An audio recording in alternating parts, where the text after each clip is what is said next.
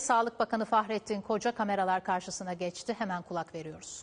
adına koronavirüse karşı verdiğimiz mücadelenin profesörleri olan sağlık çalışanlarımız adına sizlere teşekkür ediyorum. Toplum titiz haberciliği takdir ediyor. Sizi gönülden kutluyorum. Kıymetli arkadaşlarım, koronavirüsün dünyada ortaya çıkışının üzerinden yaklaşık 104 gün geçti. Ülkemizde ilk vaka 14 Mart, 10 Mart'ta görüldü. Süreci yakından izliyorsunuz.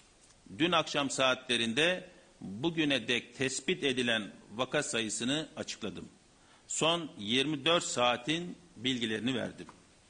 Şüphelilerin takibinde testlerin hızla yapılmasında tanı konan hastaların izole edilip tedavi altına alınmasına çok titiz davranıyoruz. Buna ilk hastamızın temas çevresinden başlamıştık. Sonraki hastalarımızda bu prensibi katı bir şekilde uyguladık. Mücadelede çok ciddi bir deneyim kazandık. Sonuçları daha hızlı öngörüyoruz.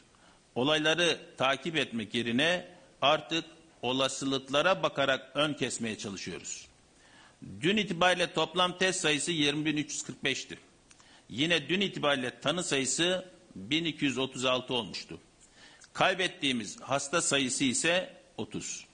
Kaybettiğimiz 30 hastanın her biri ileri yaşlardaydı ve Covid-19'a eşlik eden başka bazı hastalıkları da bulunuyordu. Bünye olarak dirençleri zayıftı. Bu ölümlerin sebebi doğrudan onların yaşları değil. İleri yaşlarda kaçınılmaz olan başka hastalıkların tabloda ağır bir yer tutmasıdır. Büyüklerimize seslenmek istiyorum. Onların koronavirüsten etkilenmemeleri konusunda bizler sorumluluk sahibiyiz.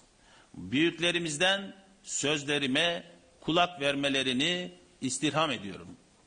Bu toplumun sizin hayat tecrübenize ihtiyacı var. Ailelerinizin size ihtiyacı var. Hayat yolculuğunda evlatlarınızın vereceğiniz tavsiyelere ihtiyacı var. Torunlarınızın sevgi ve ilginize ihtiyacı var.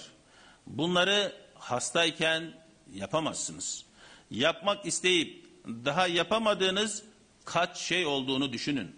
Onları ağır bir hastalığa yakalanmışken yapamazsınız. Sizin öğütlerinize ihtiyacımız var.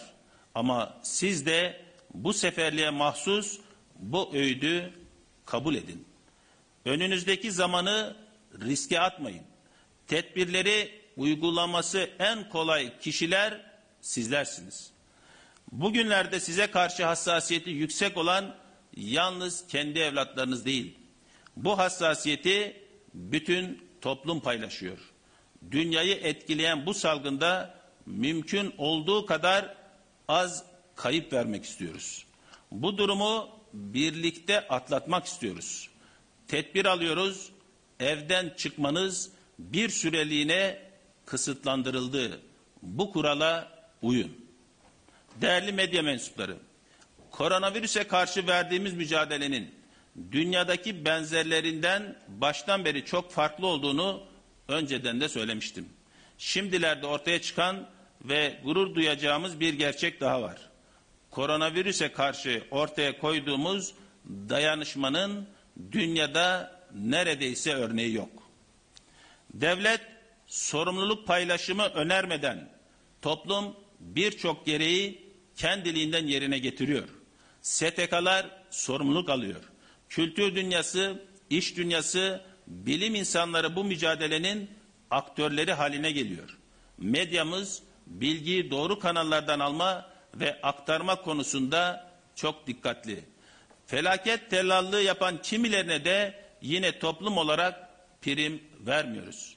Zamanımızı mümkün olduğu kadar evde geçirme çağrımız giderek karşılık buluyor. Mücadelemiz endişe baskısından karartılı havadan çıkıyor, canlılık ve enerji kazanıyor.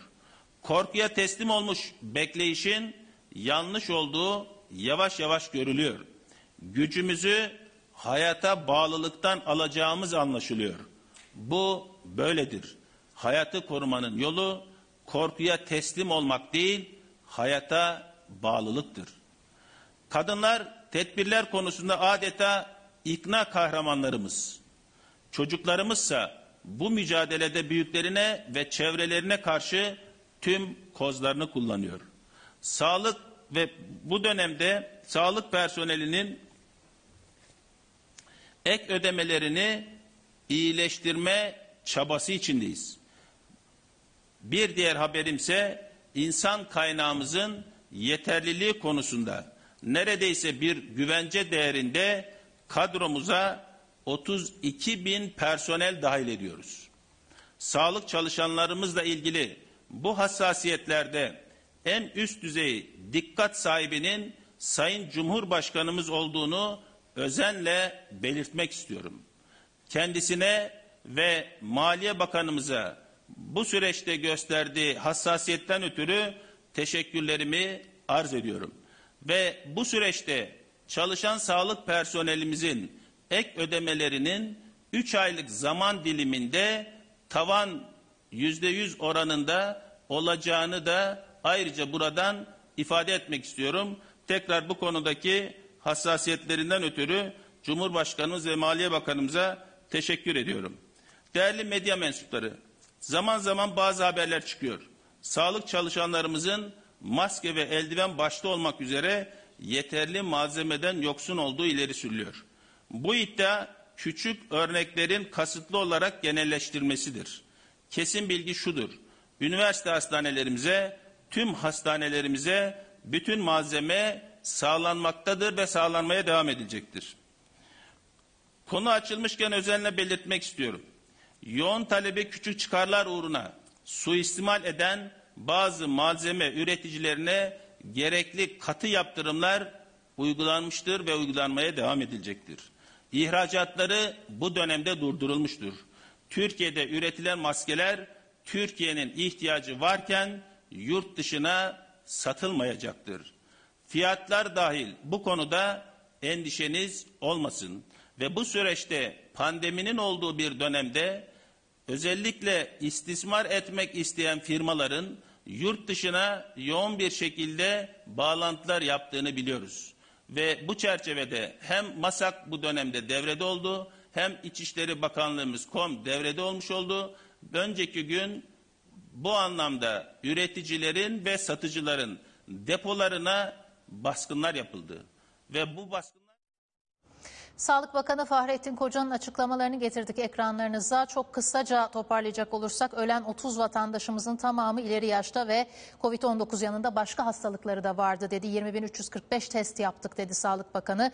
Büyüklerimizin sözlerimize mutlaka kulak vermesini ve evde kalmasını istiyoruz dedi. Bunu defalarca tekrarladı. Dayanışmamızın dünyada örneği yok. Sağlık personellerinin ek ödemeleri iyileştiriliyor haberini verdi ve sağlık çalışanlarının yeterli malzemesi var vurgusu yaptı. Ee, Sağlık Bakanı Fahrettin Koca devam.